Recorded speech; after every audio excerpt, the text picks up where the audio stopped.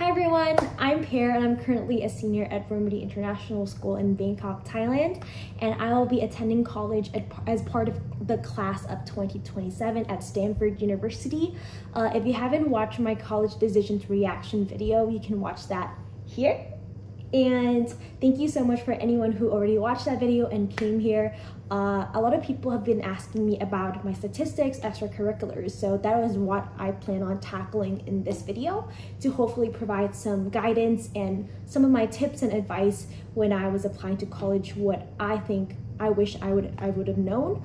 Um, a lot of these videos when I was watching them and applying to colleges were really helpful to me, so I hope that this video of mine will provide some guidance, some closure, and um, help you kind of navigate your path of applying to universities. And of course, if you have any questions, please just let me know, comment down below, or you can direct message me as well. Thank you so much. Okay, so I forgot to mention this in my intro. Uh, so I'm filming it in the evening right now, so the lighting's a bit different, but here's my background information. I am a Thai student and I currently am studying in a private international school in Bangkok, Thailand. Uh, our GPA scale is out of a 4.0 and both my parents uh, studied in universities in Thailand, so I am not a legacy. Okay, so for the first part of this video, I'll be talking about my grades and the classes I took in high school. Uh, so in ninth grade, I took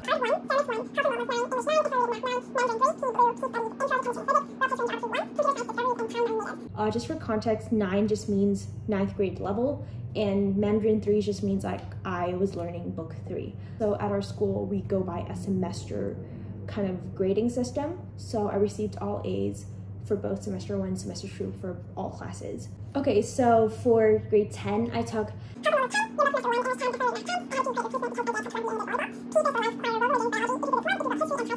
so I just want to preface that in 10th grade, our school allows 10th graders to take two AP courses. So I decided to take AP Physics 1 and AP World History. And then for 11th grade, I took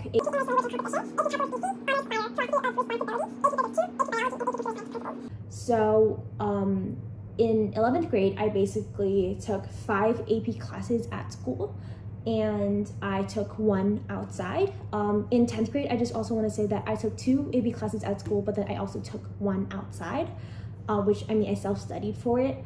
And um, and here are my grades for the the year. And as you guys can see, I received a B plus on AP Physics 2. So it's okay if you get a B there's still a chance um, you don't have to stress out. It's completely okay. Your grades is not everything. It's just a benchmark for colleges to see whether you know they you pass a certain uh, cutoff. And if you do um, everything else is up to you know your who you are your interests your passions and whether you fit in to their community or not Okay, so for 12th grade, in 12th grade, I took So I took five AP courses in my senior year, and I took one kind of like accelerated course, which is called multivariable calculus, which is basically we paid for John Hopkins. Um, I'm not sure what it's called. It's like a John Hopkins program, uh, and we just bought it, paid for it, and it's like a self-paced course that I just take and do on my own um, at school. At my school, AP Calculus BC is like the, the hardest uh, math course you can take as an AP student. So in senior year, we had to take something more difficult. Uh, so we took MBC. Okay, now onto my GPA. Uh, in total, um, discounting my second semester grades in senior year, I have a 4.15 weighted GPA. And the reason is because my AP classes are weighted on a 4.5 scale. So if you get an A, you get a 4.5. Um, but I also have general classes in ninth grade, 10th grade, and I also have a general class um, in senior year as well. So it um, my, my total GPA cannot go up to a 4.5, um, but I have a 4.15. Yeah. Now I'm gonna talk about the AP tests in total I, I took um, that I submitted in my Common App. So in my Common App, I said that I'll be taking 15 AP exams. Um, that includes the nine I already took and the six that I will be taking this year in May. So I took um, three AP exams in my 10th grade year, which is AP World History, AP Physics 1, which I took in high school, and then I have AP Psychology, which I self-studied. And then in 11th grade, I self-studied AP Macroeconomics, and then I did AP Calculus BC, AP Computer Science Principles, AP Physics 2, AP Language and Composition, and the last one is I did AP Biology. And then in 12th grade, I am taking currently five AP classes in school, but I'll be taking six AP exams because I have AP Physics C for electricity and magnetism and the AP Physics C mechanics exam. And then I also have the AP Literature and Composition exam, AP Human Geography, and last is AP Chemistry. Um, for all the tests that I did, I did nine tests uh, for so far, and I received fives in all of them. Now onto my test scores, I submitted the SAT. I took the SAT twice. So the first time I received a 1490. So I received an 800 in math and a 690 in reading and writing. So the second time that I took it, I received a 1550 in one sitting and I got a score of 770 in reading and writing and a score of 780 in math. And so when I submitted my score, I super scored it uh, to a 1570 which means I submitted 800 in math for my first sitting and then 770 in reading and writing for my second sitting. Oh, and my first sitting, I also did an essay portion. I think I received a score of 18 on the essay portion. That was the only op opportunity I had of doing an essay because the second time around they just canceled it. Like there was no essay anymore, so I just submitted it. Um, I submitted one SAT subject test because I took the math subject, math 2 subject test twice. The first time I got a 780 and the second time I got an 800. And the second time I took it, that was the last like month that they had offered the SAT subject test. So I and I heard that it wasn't gonna be like as important anymore. So I did not study for any other subject tests. I just did the math two subject test and that was the only subject test I submitted. And then onto my TOEFLs IBT. I did the TOEFL twice. I actually did not know that I had to take the TOEFLs until the summer of my senior year when I read the requirements of different schools and some of them I thought I saw that for international students you had to submit TOEFL scores. So I just went and took the TOEFLs. Um, I took it two times, like I said. The first time I received a score of 114 and then the second time I received a score of 118 out of 120. Um, so for reading, I received a 30, for listening a 30, for writing a 30, and for speaking a 28. Um, and so I submitted my second sitting score. So for TOEFLs, it's not like SATs. You can't really super score it, I believe. So I just submitted um, my 118 score because that was the best score that I had.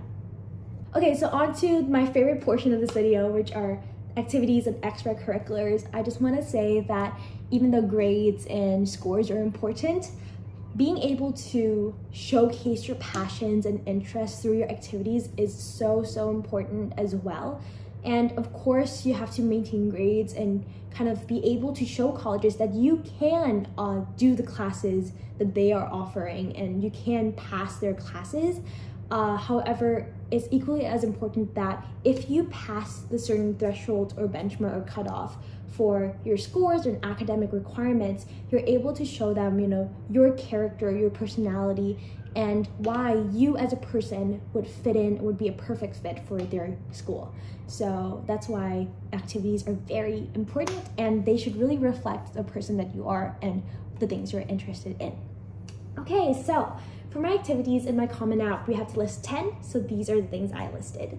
So the first activity that I wrote down is that I am the founder and editor-in-chief of the Uni International.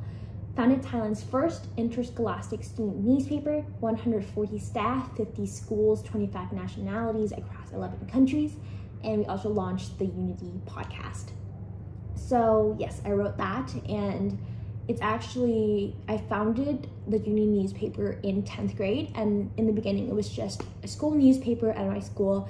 But eventually after a conference we held called Raise Your Voice uh, it kind of like brought so many different people from so many different schools and nationalities. So now we grew to over 140 people creating content and writing articles for us to break through stigmas and taboos and kind of give a space for young authors, young writers, and journalists to grow and learn and be able to have a place where they can voice their ideas and opinions. Um, so the second thing I put down, um, by the way, I put these down in order of importance to me. um, or order of the relevance or the time I spent in it. So I would say that the first two are very on par with each other. So I don't really know which one to put first, but um, so they're kind of equally important. So the second one, I said I was a founder and president of HER, H-E-R, which stands for Health, Equity, and Respect. And it's an international feminine health and hygiene organization to fight menstrual stigma. We organize gynecological workshops, menstruation conferences, with over 20 NGO partners. Actually, currently the number is almost like almost over like 30, um, but at the time that I submitted, it was like 20. So that's what I said. Um, the third one is that I was I wrote that I am the founder of Cerebel Social Enterprise, and I created research-based skincare products made from silkworm cocoon extracts. We distribute them through Female Social Enterprise and export to three countries. So uh, is basically a brand that I created. It's like a skincare product and basically we upcycle um, like silkworm cocoons that are discarded. We buy them from uh, kind of silk farmers in Thailand and then we turn that into skincare through extracting sericin which is a protein that's very good for your skin and putting that in different products like cream, moisturizer, uh, serum and things like that and we kind of offer these beauty sets to former prisoners to be able to help them um, earn income through selling these products uh, through like kind of like an affiliate program. Yeah. Okay, so the fourth thing is I, I wrote down was it's actually a sector of HER, but I just wrote I just wrote about it because like HER is such an important part of me and I actually wrote about HER in my Common App essay and so it's very personal and it's like very important to me so I just divided it into two parts. So in the fourth uh, the fourth activity I wrote down was I was a developer of the HER Hurricane Pads social enterprise so I led a social enterprise employing former inmates to make HER pads from upcycled sugarcane waste I received FDA approval and distributed them in five countries so that's what I wrote. Um, basically, our pads, there's two types. We make reusable pads and we also make pads from sugarcane fibers. So in the sugar industry, um, when they're making sugar, uh, there's always leftover sugarcane bagasse that's discarded and not really used for anything. So we decided to upcycle that and use in creating pads. And so that's what we did. We received FDA approval from the Thai Ministry of Health and uh, we currently distribute them to underserved women and girls through NGOs, communities, conflicted areas, things like that. So that's very important to me. So I put that as the fourth thing, even though I already put HER as the second thing, but I just wanted to more space to elaborate on that. Okay, my fifth thing that I wrote was that I was an international ally for Brooklyn Library Cycle Alliance. So I collaborate and share HER Bagasse Pads innovation with the Cycle Alliance and homeless women in Brooklyn, New York and I spoke on News 12 about menstrual hygiene. So as you guys, guys can see here is that the trend here is that there's three activities that uh, I already took up space and all three of them are about menstrual equity and menstrual hygiene. And that's because that's the social issue I'm most passionate about and I really wanted to highlight that throughout my application and have that as my, you know, death. And so um, I wanted to highlight that through the different uh, positions I held and the different things I did to contribute to that social cause. Um, okay, so my sixth thing is that I am an initiator of Cerebel's MYS One for One campaign. So actually this was a hand sanitizer campaign that I did in ninth grade, but I actually con continued it until like um, the end of like my 11th grade career. I basically produced, sold, and donated 10,000 bottles of MYS hand sanitizers to 11 groups in five provinces, and I followed the one for one model with donations to hospitals. So basically, um, when I sold every one hand sanitizer bottle I sold, I donated one to hospitals and things like that. And I started it in ninth grade because that was when COVID hit, and I just started it then. And uh, I kind of like actually started Cerebel in 10th grade, but then I just uh, kind of tied the my hand sanitizer initiative underneath Cerebel because that's much easier to when we do marketing, promotions, it can be like a CSR program under the social enterprise model I created for my skincare products. So um, that's why I said it was it belonged to Cerebel, even though it was started before. The next thing I wrote down was that I am president for the National Honor Society at my school. So I led a group of 50 students, founded NHS's first DEI committee. So actually, as a president of National Honor Society, we did a lot of changes to the structure of NHS in um, this year. And we piloted free pads. So we piloted that with um, the student services at our school by kind of, you know, promoting that in different kind of classrooms and being able to put the different vending machines in in the restrooms and we helped with promoting that to students and pushing that so they don't have to be worried about bleeding on campus without having um, pads. The next activity I did, I said I was a pastry chef for Coco Mikan Healthy Bakery and this is just like an online bakery I started on Instagram. I just started an Instagram page and I was like really into like the keto mode at the time. So I was like baking like keto cookies, keto bread, low carb, like super healthy snacks. And so I baked them with almond and coconut flour. I just sold them on Instagram with like, we got like 150 orders per week um, and the profit I just used went towards like her, Cerebel, and things like that. Um, I did that during the summer of my 10th grade, uh, leading up to my 11th grade um, summer. And then after that, I just passed it on to NGO I was working with and just to help kind of give them the recipes and taught them how to do it so that uh, former inmates can continue doing that.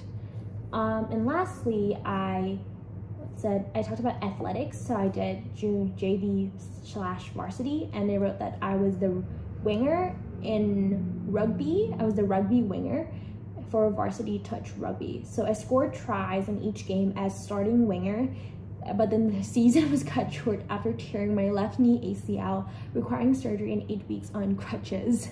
So yeah, basically I tore my ACL twice. The first time I tore in eighth grade, the second time I tore because I was playing touch rugby.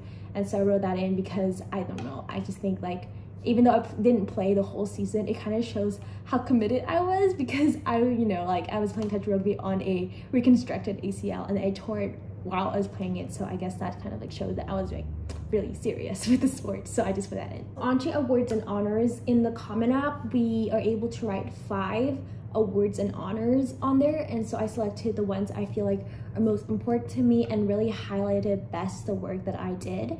And so the first award that I wrote down was the Diana Award. I received the Diana Award in July 2020. Um, I believe it's July. And I was really touched and it's like something really meaningful to me because it was the first big award I received for my work at HER, which is a menstrual equity nonprofit organization I founded and currently running. Um, and just to kind of provide context about the Diana Award, the Diana Award on their website, it says that it is established in memory of Diana, Princess of Wales. The Diana Award is the most prestigious accolade a young person aged 9 to 25 years can receive for their social action or humanitarian work. So yeah, I was really touched and really honored to have been one of the recipients in 2022. Okay, for my next one, um, I said that I received an honorable mention at International Philosophy Olympiad.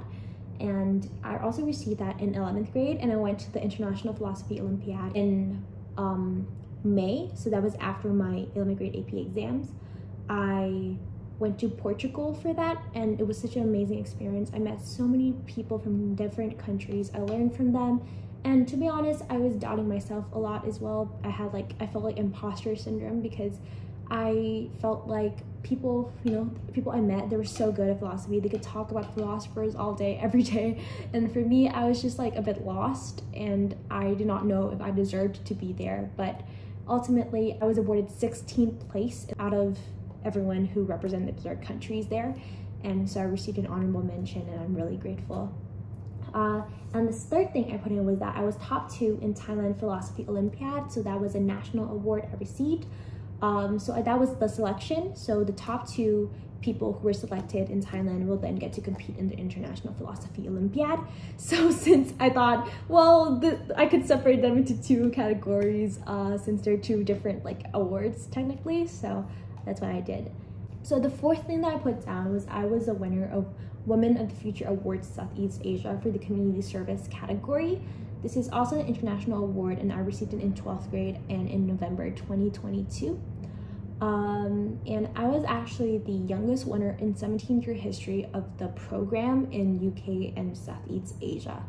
And it's a major, major, huge honor for me because all the finalists um, were so talented. And when I saw them, when I was shortlisted, I was already so happy.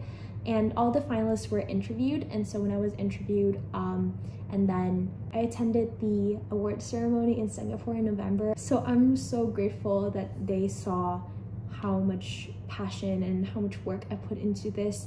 And I really just feel like it really showed that the work that I do, you know, is making an impact on other women's lives. For my last honor I put in was that I was first in science out of 2000 World Scholars Cup Tournament Champions at Yale University. I received that in ninth grade an international award and basically if you know what World Scholars Cup is, is basically just a competition that a lot of high schoolers they uh, they do and you basically have to go through a regional round, a global round and then if you are selected you get to compete at the TOC or Tournament of Champions held at Yale University, and I had the opportunity to go and really experience that. And that trip to Yale was actually the reason why I decided to go study in the States. So that was really meaningful for me, and I'm really grateful that I received this honor. I also wanted to mention the additional information section in the Common App. So you think you have additionally like 500 words that you can add anything else that you want to add to show college admissions officers, like maybe something that you weren't able to add in the other sections. And so in this additional information section, I added additional awards I received up to that point in time. So I said I received an honorable mention in UN Women Thailand Women's Empowerment Principles or WEPs Awards in the SME category. And I also said I received an EARCOS Global Citizenship Award for her, the unit, and Cerebel, which I was chosen by teachers, counselors, and administrators, in which my school chooses one student per year.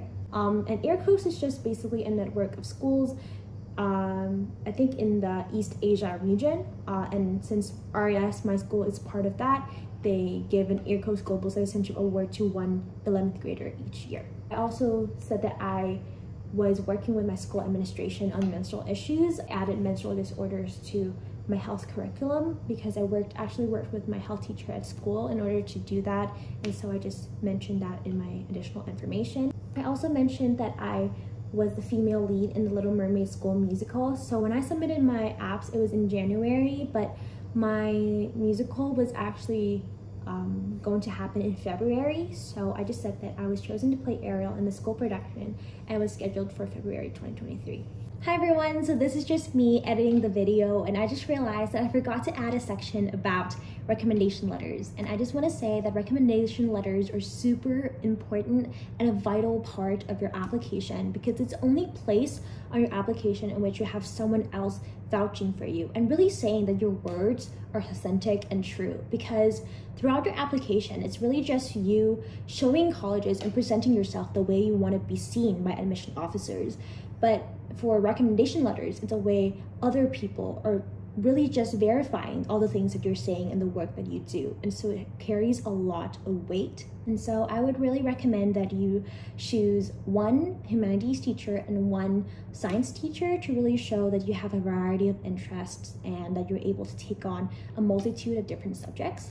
And also to build lasting relationships with your teachers, at school and to just kind of update them on the things that you're doing outside the classroom have to have them get to know you better uh, and have conversations with them aside from the subject at hand and that so they know who you are as a person not just a student in the classroom but the work that you do outside what you're passionate about your interest so that they're able to really talk about you and just find it super easy to write about you um, and present you to colleges and tell the colleges why you deserve a spot in their community and what you will bring. Final tips for application and for you know creating your projects and doing extracurriculars, I think that the most important thing is having depth in your application, not just a breadth of activities. You have to have a T-shaped thing where like, you know, you have these are the breadth of activities you do, but you might have one or two things that you're really, really passionate about and that creates like your T. Um, for me, I would say that my T is women's rights, women's issues, and definitely menstrual equity. That's something that I'm really passionate about, breaking the silence, breaking through taboos, and I think that's what my T is. Uh, for you, it might be something different, and I would recommend really doing something that you're passionate about, that you love, and that really sticks with you because um, it's going to be something that you continue through uh, doing. And even after, right, you apply and you get the, your college results, you still want to do it because you're passionate about it. Okay, I think that really wraps up my video for today. I hope you enjoyed watching it and I hope you found it insightful. I hope it brought some clarity about the application process for you. And like always, if you have any questions, you can just leave it in the comment down below and I'll try my best to answer them. Uh, and if you have anything else you want me to do a video on, please let me know. Might be something about my university essays or just some tips and tricks on additional uh, topics. Please let me know as well. Uh, yeah, thank you so much, guys. Bye.